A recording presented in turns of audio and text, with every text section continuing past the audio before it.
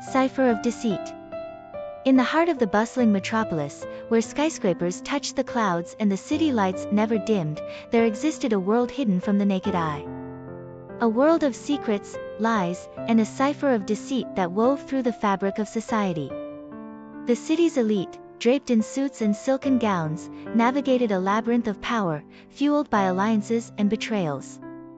At the center of this clandestine world was Adrian Kane, a charismatic and enigmatic figure known for his ability to decipher the intricate codes of deception that threaded through the city's power circles.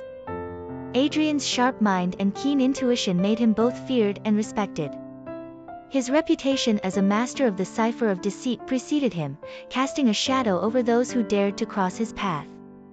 One chilly evening, as the city lights glittered like distant stars, a mysterious figure approached Adrian with a proposition.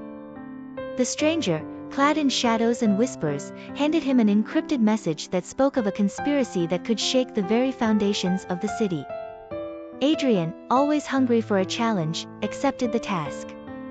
The cipher before him was unlike anything he had encountered.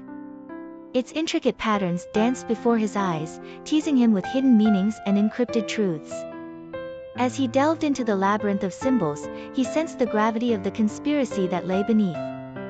The message led Adrian to a hidden society, a group of powerful individuals who operated in the shadows, manipulating the city's fate for their own gain.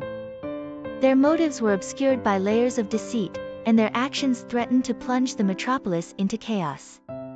Adrian's investigation took him to the upper echelons of society, where the elite danced on the precipice of power and betrayal. Each step he took unraveled a new layer of the conspiracy, revealing a web of lies that ensnared politicians, business magnates, and even law enforcement. The cipher of deceit was complex, and its threads wove through every corner of the city. As he delved deeper, Adrian found himself entangled in a dangerous game of cat and mouse. The more he uncovered, the more he realized that his pursuit of the truth had made him a target. The shadows that once served as his allies now seemed to close in, threatening to consume him.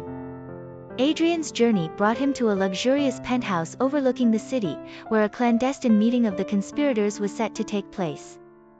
With the decrypted cipher in hand, he infiltrated the gathering, moving through the opulent crowd like a phantom. The conspirators, oblivious to the impending revelation, spoke in hushed tones about their plans to manipulate markets, control political landscapes, and amass wealth at the expense of the city's unsuspecting inhabitants. Adrian listened, gathering the final pieces of the puzzle that would expose the cipher of deceit. As the clock struck midnight, Adrian made his move. He confronted the conspirators with the decrypted message, revealing their secrets to the world. Chaos erupted in the penthouse as alliances shattered, and the once united cabal turned on each other. Adrian, a puppeteer of truth, watched as the city's foundations trembled under the weight of its own deceit. In the midst of the chaos, the mysterious figure who had delivered the encrypted message revealed themselves. It was Cassandra, a brilliant hacker with a vendetta against the conspirators. Her past intertwined with theirs, and the cipher of deceit had been her way of seeking justice for the shadows that haunted her. Together, Adrian and Cassandra orchestrated the downfall of the conspirators. The city, though scarred by the revelation, began the process of healing. The corrupted were exposed, and the citizens demanded accountability. The cipher of deceit, once a weapon used against the city, became a symbol of its redemption. Adrian, having fulfilled his role as the city's cipher breaker, retreated into the shadows. His work was done, and the metropolis would forever bear the scars of its hidden secrets.